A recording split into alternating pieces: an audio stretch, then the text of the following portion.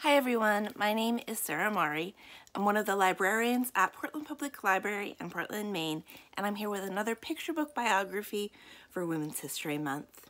Today we're going to read about Margaret Chase Smith, who was a Mainer. Let's find out more about her in this book, A Woman for President, by Lynn Plourde, also a Maine author, illustrated by David McPhail. This book is published by Charlesbridge Press. She couldn't become president of the United States. She was a she. Only a man could be elected president, right? Maybe not. In 1964, Senator Margaret Chase Smith made an announcement. She began her speech by explaining why she should not run for president. She didn't have enough money. Most thought that there was no chance she would win. Plus, some people said a woman wouldn't have the energy for a national campaign. She concluded, because of these very impelling reasons against my running, I have decided that I shall. What a president she would have been. A surprising one. When Margaret Chase Smith was born in 1897 in the small Maine town of Skowhegan, women in most of the United States could not even vote. Not for dog catcher, not for governor, and certainly not for president. It wasn't until 1920 that women throughout the country could legally cast their ballots. Margaret came from a poor family. Her father was a barber who drank too much and suffered from severe headaches. Her mother frequently worked outside the home waiting tables and stitching shoes to help support the family. They lived in Margaret's grandfather's house because they could not afford their own home. What a daughter she was, one who came from humble roots. Margaret faced challenges and tragedies early on. When her baby brother Roland suffered from convulsions, she helped to carry from him. He died of pneumonia at the age of one. Three years later, Margaret's two-year-old brother Lawrence also died from dysentery, an infection of the digestive system. The family could not afford to have a gravestone carved for the brothers, but Margaret's mother ordered one anyway. Then she did laundry and ironing for the Stonecutter's family in order to pay for it. Margaret did her share, too. Even on cold, snowy mornings, every day before school, she walked a mile to the Stonecutter's house to deliver a quart of fresh milk from her family's cow. What a sister she was, compassionate and responsible. From the time that she first learned to speak, Margaret called her grandfather Banker, perhaps because it was easier for her to pronounce than grandfather. Whatever the reason, the nickname was most appropriate. Even though Banker worked at a factory, not a bank, he was the most frugal person that Margaret knew. As a senior in high school, Margaret wanted to leave Maine for the first time to go on a class trip to Washington, D.C. Her parents couldn't afford to send her, but one day, Banker brought Margaret to the bank and withdrew $60 to pay for the trip. Then he made Margaret sign a note promising to pay him back every part of that 60% the $60 plus 6% interest. What a granddaughter she was, one who learned the value of money. When Margaret graduated from high school, she could not afford to go to college. She tried different jobs, working in a one-room schoolhouse, in a telephone company office, and for a newspaper. Margaret also became involved in women's organizations, including the Daughters of the American Revolution, Business and Professional Women, and Sorosis, one of the first women's professional clubs in the nation. She soon became a leader in these organizations. Margaret considered the experiences her college education. What a student she was, one who learned much from the real world. After graduation, Margaret began dating town selectman and state legislator Clyde Smith, who was 21 years older than she was. Even though Margaret and Clyde were both adults, her parents still chaperoned their dates. In 1930, after more than a decade of courtship, the couple married.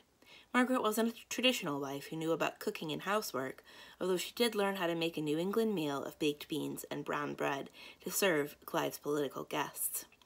Once, when Margaret tried to impress Clyde by making fish chowder, he suggested she spend her time to better advantage. So she did, helping her husband with his political duties. She kept track of his appointments, took notes at meetings he attended, and drove him all over the state to campaign. What a wife she was, one who was valued as a political partner. In 1936, Clyde was elected to the U.S. House of Representatives. Margaret loved living in Washington. She called on the First Lady at the White House, joined an organization for congressmen's wives, and took public speaking lessons. Margaret seemed to be getting ready for bigger and better things. Before things got better, they got worse. Clyde died suddenly, and Margaret became a widow. She was only 42 years old. She had little time to mourn. It had been Clyde's deathbed wish that Margaret take his place in Congress. One month after Clyde died, Margaret won a special election to finish out his term. It was the first election of many during her eight years in the House of Representatives and her 24 years in the Senate. What a congresswoman she was, ready to serve at a moment's notice. Margaret, as a woman in a man's world and a high school graduate among college graduates, was determined to prove that she belonged in Congress. She did so with hard work and by paying attention to details. She personally answered thousands of letters, carefully researched issues before congressional hearings, and wrote a newspaper column giving voters an inside view of Congress. Margaret was sent to the House and later the Senate to vote on the nation's business, and vote she did. For 13 years, Margaret did not miss a single congressional roll call vote. She voted a record breaking 2,941 consecutive times. What a senator she was, dedicated and hard-working. Margaret was a strong military supporter. She worked to make certain that United, the United States would be ready for any crisis or attack. As Margaret began her Senate career, she chose Major General Bill Lewis as her administrative assistant. He worked by her side as her personal and political best friend for more than 30 years. Margaret helped women in the military receive the same status and benefit as men with her landmark legislation, the Women's Armed Services Integration Act. Previously, men, women were considered volunteers in the military and received no benefits. As a woman in Congress, Margaret was not expected to be a leader on military issues, but many were learning to expect the unexpected from Margaret. What a fighter she was, one determined to defend her country. Margaret was also passionate about flight and space exploration. As a reporter in 1925, she took her first ride in a biplane. Years later, wearing an orange jumpsuit and high heels, Senator Smith rode in an F-100F Super Sabre as it broke the sound barrier. As a member of the Aeronautical and Space Sciences Committee, Margaret supported space exploration, prompting the head of NASA to say, if it were not for a woman, Margaret Chase Smith, we never would have placed a man on the moon. What an adventurer she was, one who reached for the stars. In the late 1940s, something called the Red Scare was sweeping across the United States. Red symbolized communism, a political and economic system that many Americans believed was a threat to freedom. Senator Joseph McCarthy began unjustly accusing many Americans of being communists. Innocent people were losing their friends and their jobs because of gossip, not because of facts.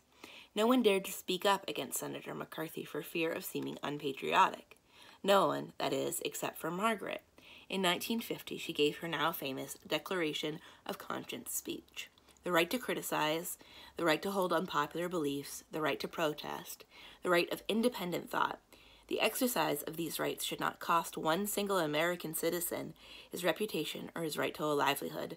Otherwise, none of us could call our souls our own. What a leader she was, one who dared to speak the truth. It was said that if a man had delivered the Declaration of Conscience speech, it would have been the next he would have been the next president. Margaret was not a man, however, and no one was rushing to put her in the White House. Many fellow Republicans still supported Senator McCarthy and treated Margaret as an outcast. Margaret decided to let the people, not politicians, decide if she should be president.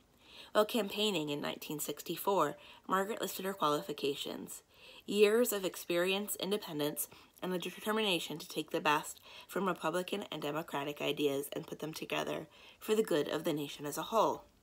Margaret wanted to be known as a candidate, not a woman, but it was hard to escape being defined by her gender. As one of her supporters said, the other candidates were only running for president. Margaret Chase Smith was making history. What a candidate she was, a truly historic one. After losing the presidential nomination, Margaret served in Congress for eight more years until she finally lost her senatorial race in 1972. She lost not because she was a woman, but because some thought that she was too old. She then served as a guest professor at colleges and started the Margaret Chase Smith Library. She had schools and bridges named after her, received 95 honorary college degrees, and became one of the first 20 women inducted into the National Women's Hall of Fame. In 1989, President George Herbert Walker Bush presented Margaret with the Presidential Medal of Freedom. Margaret Chase Smith died at the age of 97 on Memorial Day in 1995. She died at home in her own bed with her purse nearby. Her purse, which on that day, on, as on every other day, contained a copy of the Constitution. What an American she was, patriotic to the end. What a president we would have had, president we would have had, and Margaret Chase Smith. Here's some more information about her and a picture of her. More information and the sources that were used as well as some other places that you can visit. I hope you enjoyed learning about Maine Senator Margaret Chase Smith, and I hope you'll join us for more picture book biographies for Women's History Month. My name is Sarah Mari Cropley. I'm one of the librarians at Portland Public Library in Portland, Maine. Thank you for listening, and I'll see you again soon. Bye.